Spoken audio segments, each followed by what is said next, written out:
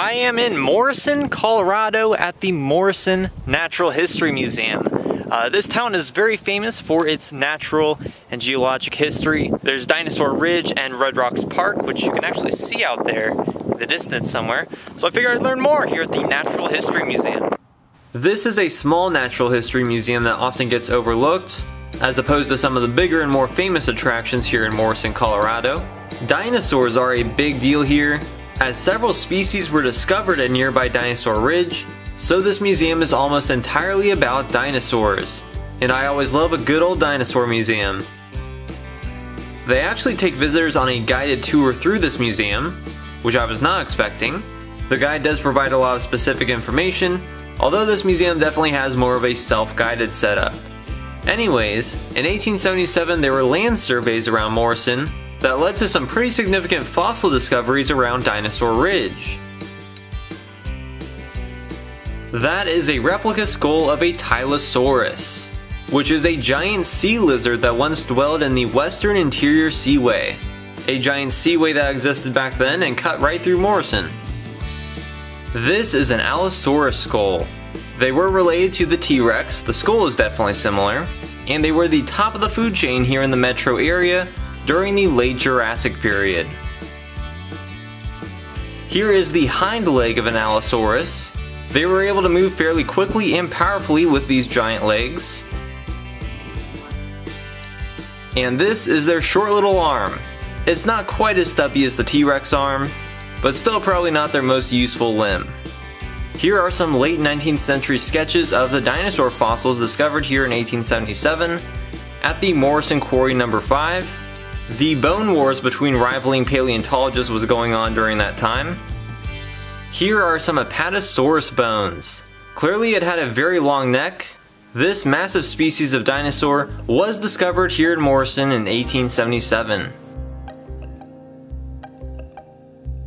I will mention that, like most natural history museums, pretty much all the dinosaur bones and fossils are cast recreations. There's its foot, the Apatosaurus was a sauropod, just a big jolly herbivore.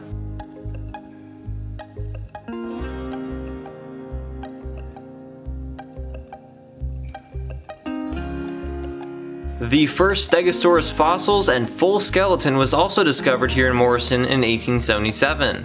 The Stegosaurus is one of the most famous dinosaurs, so that is pretty cool. Here are some Stegosaurus fossils. Apparently the paleontologists who discovered them originally thought the Stegosaurus had an Apatosaurus head, but once he put things together he figured it out. Stegosauruses are known for their unique backplates and tail spikes. This is the skull of a Stegosaurus, which was an herbivore, so it just had small teeth for chewing plants. This is a cast of the first Stegosaurus track discovered in Colorado, probably at Dinosaur Ridge, here is the hindfoot skeleton of a Stegosaurus, compared to a rendering of what the foot actually looked like. There was also the Camptosaurus, which was very similar to the Stegosaurus, and there are some fossils and a track of one.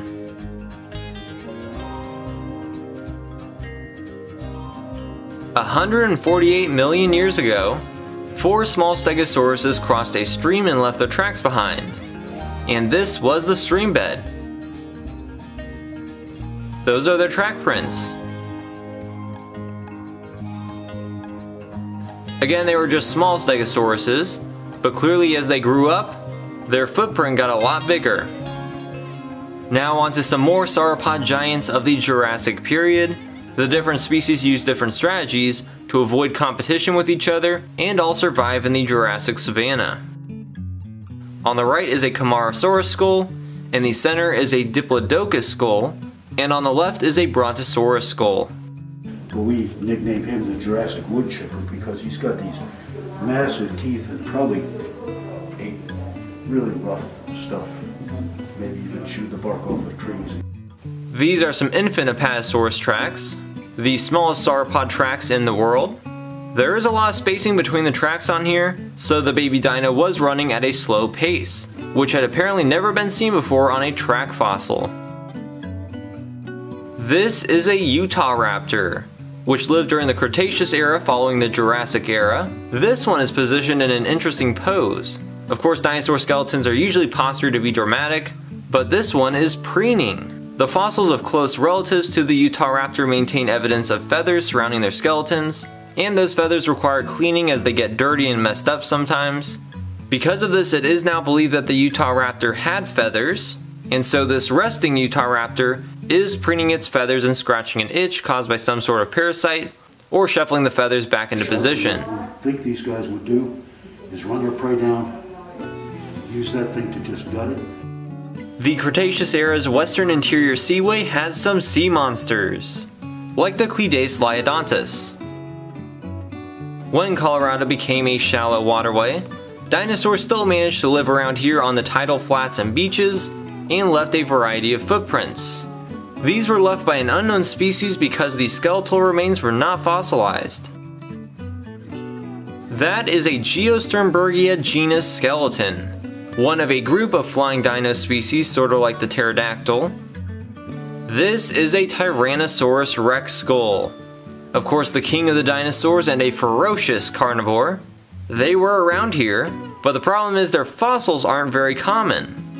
In 1874, a boy found a T-Rex tooth near Golden, Colorado, but otherwise not much has been found here in Colorado. This one did get a pretty large hole in its skull, probably from a fight. And here's another one of the most famous dinosaurs, the Triceratops.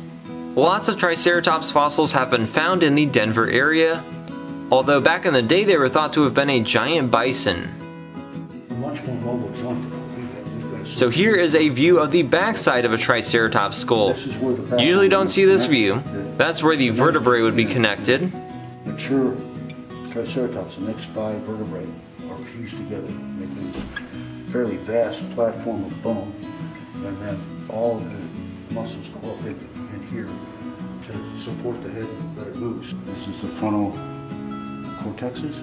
Uh, This part back here is, is, should be ignored because it's just part of the Here is a palm frond fossil from the late Cretaceous period. There were palms here in Denver, meaning it was a good deal warmer year round during that time. The last room has some post-dinosaur displays.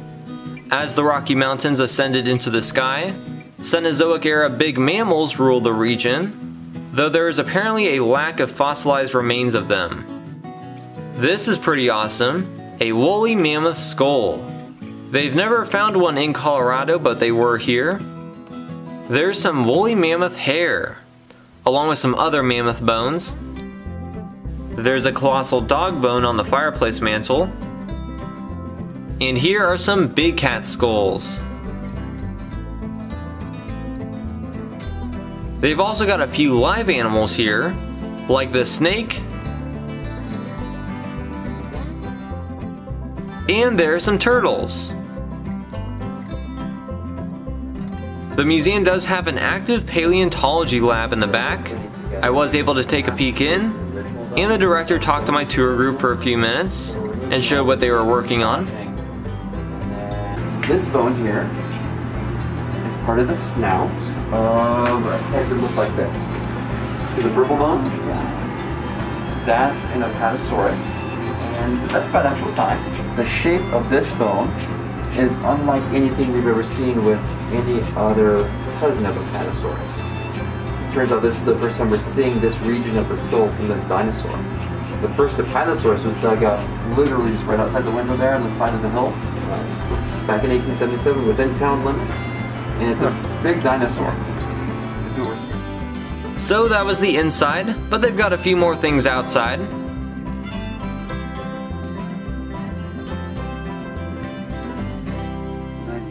There is a time garden with lots of large outdoor fossils. That high. And then there would be the central, the thing that you ordinarily think of as a vertebrae. They also let visitors test out the spine drill on a rock. The drill is used by paleontologists to gently carve out fossils. I had never done that before, so that was cool. Carving out the fossils is definitely an intricate process. Seeing that there are bones in here, but you can also tell from what you just saw, it's very difficult to get them out. They've also got a sand pit for kids to dig up fake bones. So that was a small but pretty good natural history museum. It's really a dinosaur museum with lots of replicas, but there are also some real fossils that were neat. I don't usually talk about admission prices, but I did think it was a little high here, just so you know, but it is worth visiting here. By the way, that is Dinosaur Ridge, with some Denver skyscrapers in the background. I do have a separate video on Dinosaur Ridge linked in the description.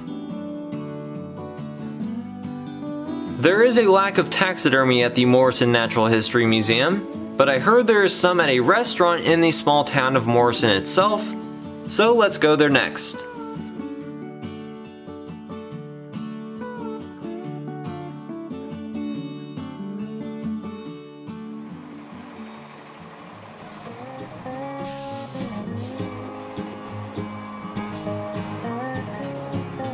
Alright, I'm gonna get lunch at the Red Rocks Grill.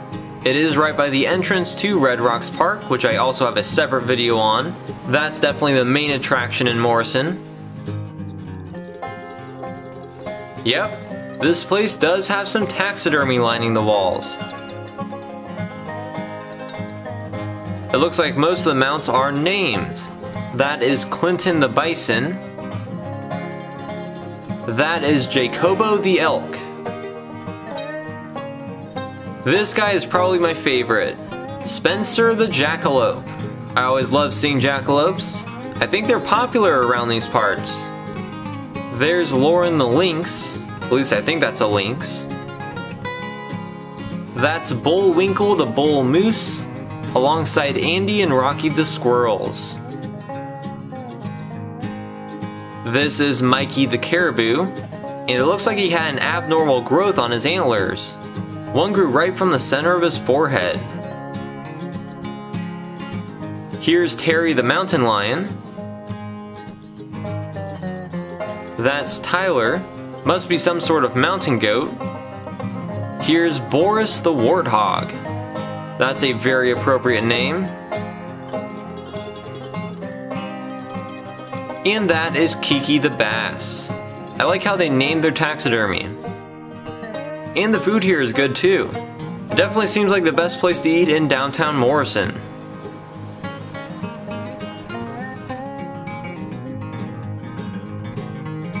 So that was the Morrison Natural History Museum and the taxidermy of the Red Rocks Grill. Both locations were fun. And of course there is a lot more here in Morrison, like Dinosaur Ridge and the famous Red Rocks Park and Amphitheater, which I have separate videos on. They are linked in the description. Additionally, I have filmed videos at other dinosaur and natural history museums, along with all sorts of other museums, roadside attractions, national parks, and more. Also, I would appreciate it if you'd like the video, maybe share it, and subscribe to my channel. Thanks for watching.